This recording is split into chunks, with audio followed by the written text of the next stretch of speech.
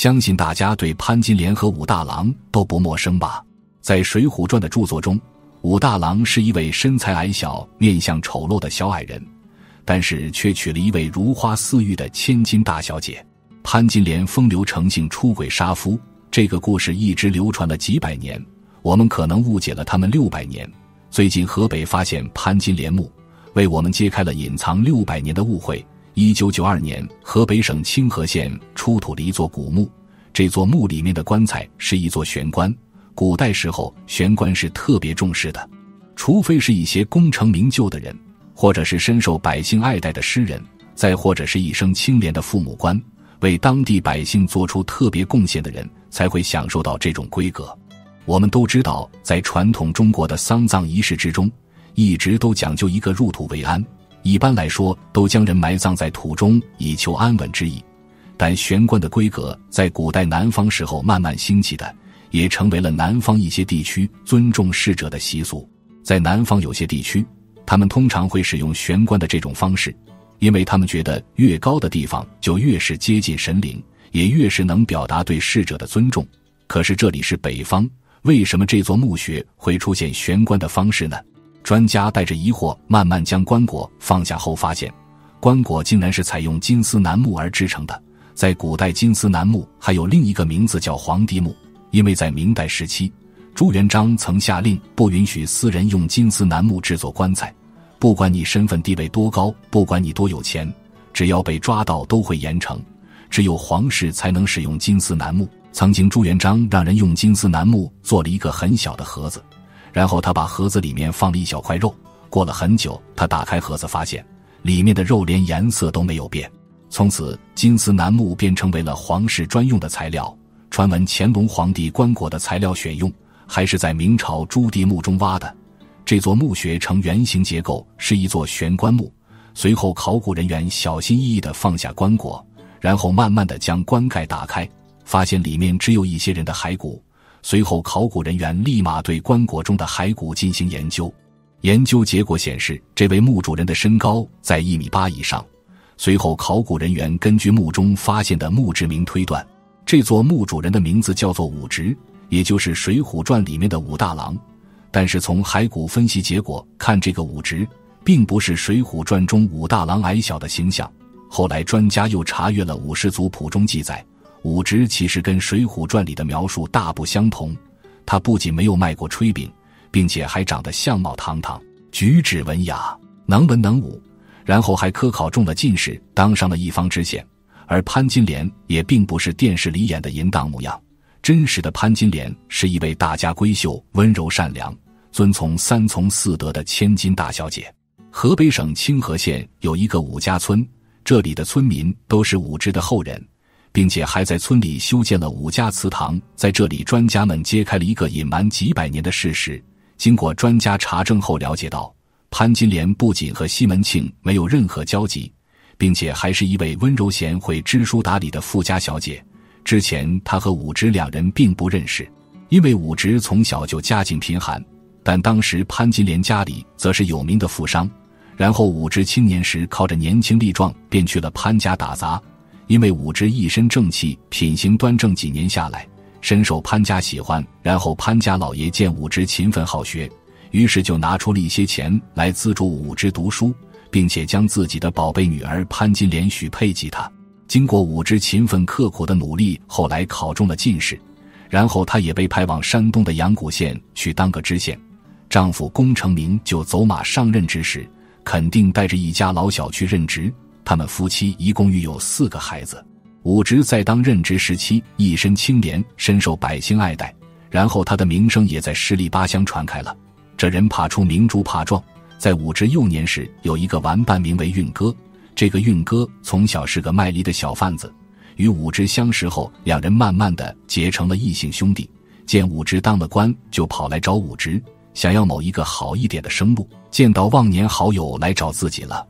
武直夫妇热情款待了好友，在运哥走后，还给了他一些钱财，但是始终没有答应让他在县衙里当个差，因为武直与他是多年好友，了解他的为人，心比天高，志大才疏。遭到武直夫妇的拒绝后，运哥拿上武直夫妇赠送的钱财就走了。可是半路上，他越想越生气，越想越嫉妒。后来为了报复武直，就直接四处散播武直夫妇的流言蜚语。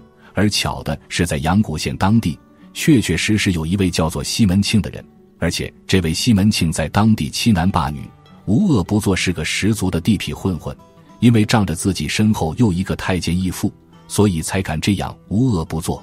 有一次，他因为与人发生纠纷，被抓到了县衙里，而武直本身就是一身清廉。肯定不会惯着他将西门庆治罪后，还被武直打了几板子。此后，西门庆就对武直一直怀恨在心，想着日后一定要找个机会报复他。这天正好他在街上听到一些关于武直夫妇的闲言碎语，于是他便心生一计，找到散布谣言的运哥。随后两人自己商量一番，决定一起同流合污，报复武直夫妇，以表达自己心中的不满。他们俩是又是张贴传单。又是四处散布谣言，经过这俩人的一番折腾下，从此武直的清官形象在百姓心中毁于一旦，而自己的老婆也未能幸免于难，潘金莲的名声也遭到了严重的侮辱与诋毁。这时恰逢施耐庵游行到此，于是便写下了《水浒传》中武大郎和潘金莲的情节。也正是施耐庵所写《水浒传》中的一些情节，过度的丑化了这对夫妻。给两个姓氏的后人带来了许多困扰，更是将潘金莲钉在了道德的耻辱柱上。后来施耐庵的后人专程上门给五姓族人道歉，并且还为武大郎和潘金莲塑了造像，后面还挂着一副道歉诗，并且加以文字澄清，也终于是为两位受冤的历史得以证明。专家也感慨到：“我们错误的被骗了六百年，最终这段颇受争议的历史终于云开见日了。”接下来的内容更精彩。浙江发现梁山伯墓碑文记载生平往事，专家说化蝶真相被揭开。关于爱情，我国自古以来有许多民间传说出现，比如《白蛇传》《梁祝化蝶》等。因为这些都是民间传说，所以人们并不知道故事的真假。但很多相信爱情的人会认为这些爱情故事是真实存在过的。相信这些爱情故事的人。更会将这些故事当作人生信仰，然后用一生的时间去寻觅那个对的人。更有甚者，有人会极力去证实传说故事里的人物是真实存在过的。爱情故事最容易被证明的就是《梁祝》故事。这个故事的真假，人们心里一直有着疑惑：这两个人到底存没存在过？在浙江发现了梁山伯的墓，工作人员在墓中找到了答案。工作人员通过碑上的铭文确定，墓主人确实叫梁山伯。通过查阅资料，工作人员得知，东晋时期确实有一位名叫梁山伯的人。他自幼聪明好学，后来进入官场，成为了一名清正廉明的官员。这样的官员将所有的心思都放在了工作上。他本想做出一番事业，可惜天不遂人愿，在一次水患之中，梁山伯没有想出办法。让百姓遭受了灾害带来的惨重损失，之后他一直郁郁寡欢，深感愧疚，最终他因纠结于心而去世。有关梁山伯的配偶，记载的人却并不是祝英台，他在中年时期就失去了自己的妻子，所以通过种种迹象，工作人员得出结论，并没有梁祝化蝶的真实事件存在。或许人们创造这个故事的本意。就是期盼像梁山伯这样清廉的官员能够拥有纯粹的爱情。古人大多遵循着包办婚姻的制度，正是因为长期的盲婚哑嫁，才会让古人格外期待自由恋爱。于是，梁祝的故事就这样被创作了出来。